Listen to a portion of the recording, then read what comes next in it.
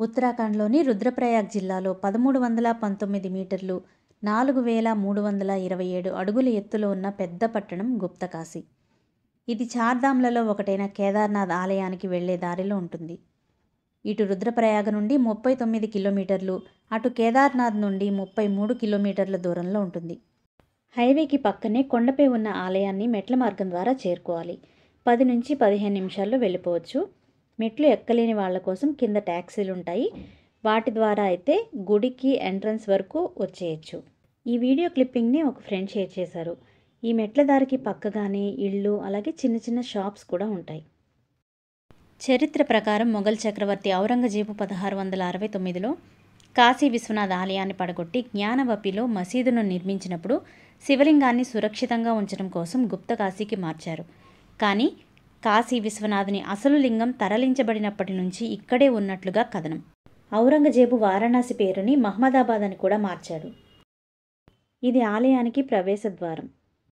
ఇక హిందూ ఇతిహాసం ప్రకారం మహాభారతంలోని కురుక్షేత్ర యుద్ధంలో పాండవులు తమ దాయాదులను కౌరవులను ఓడించి చంపారు. వారు యుద్ధ సమయంలో సోదర హత్య మరియు గోత్రహత్య పాపాలకు ప్రాయశ్చిత్తం చేయాలని కోరుకున్నారు. ఆ విధంగా వారు తమ రాజ్యాధికారాన్ని తమ బంధువులకు అప్పగించి శివుని దర్శనానికి బయలుదేరతారు.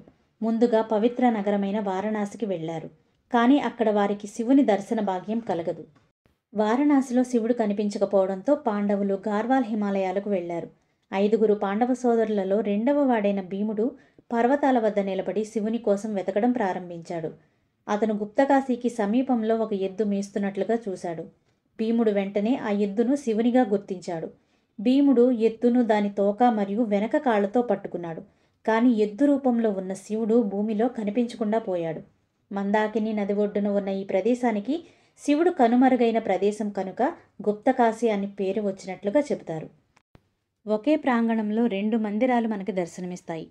మొదటి మందిరంలో పరమశివుడు సిద్ధేశ్వర మహాదేవునిగా దర్శనమిస్తారు. ఇక రెండవ మందిరంలో అర్ధనారీశ్వరునిగా అంటే సగభాగం శివునిగా మిగిలిన సగభాగం పార్వతీదేవిగా దర్శనమిస్తారు. ఆలయానికి ఎదురుగా ఒక నీటి కుండం ఉంటుంది. దీనినే మణికర్ణికా కుండని పిలుస్తారు. ఇక్కడ రెండు నీటి దారాలను గమనించవచ్చు. అవే యమున గంగా నదుల యొక్క నీటిపాయలు. ఇవి నిరంతరం ఈ మణికర్ణికా కుండలోనికి ప్రవహిస్తూ ఉండటం విశేషం. ఈ నీటితోనే స్వామివారికి నిత్యం అభిషేకం చేస్తూ ఉంటారు. యమునా నది యొక్క నీరు గోముఖం నుంచి వెలువడితే గంగా నది యొక్క నీరు ఏనుగు తొండ నుంచి వెలువడుతుంది. దీని గురించి ఇంకా వివరంగా చెప్పాలి అంటే భూమిలోకి కనిపించకుండా అదృశ్యమైన శివుడు ఆ తరువాత ఐదు వేరు వేరు రూపాల్లో కనిపిస్తాడు. అవే ఈశ్వరుని యొక్క ఐదు శరీర భాగాలు పడిన చోట్లు. అవి కేదార్నాథ్ వద్ద మూపురం రుద్రనాథ్ వద్ద ముఖం తుంగనాథ్ వద్ద చేతులు మధ్యమహేశ్వర్ వద్ద నాభి ఇంకా కడుపు భాగం మరియు కపిలేశ్వర్ వద్ద జటాజుటం. అవి పరమ పవిత్రమైన పుణ్యక్షేత్రాలుగా వెలిశాయి. వీటినే శివపురాణంలో పంచకేదారాలు అని అభివర్ణించారు. పంచకేదారాలయాలను నిర్మించిన తర్వాత పాండవులు మోక్షం కోసం కేదార్నాథ్లో ధ్యానం యజ్ఞం చేసి ఆపై మహాపంత్. దీనినే స్వర్గరోహిణి అని కూడా పిలుస్తారు. ఈ మహాపంత్ అనే స్వర్గ మార్గం ద్వారా మోక్షాన్ని పొందారు. ఇదండి గుప్తకాశి యొక్క ఆలయ చరిత్ర మరియు విశిష్టత. వీడియో నచ్చితే తప్పకుండా లైక్ చేయండి మీ ఫ్రెండ్స్కి ఫ్యామిలీ మెంబర్స్కి షేర్ చేయండి. నెక్స్ట్ వీడియోలో మళ్ళీ కలుసుకుందాం. Thanks for watching. Take care. Bye bye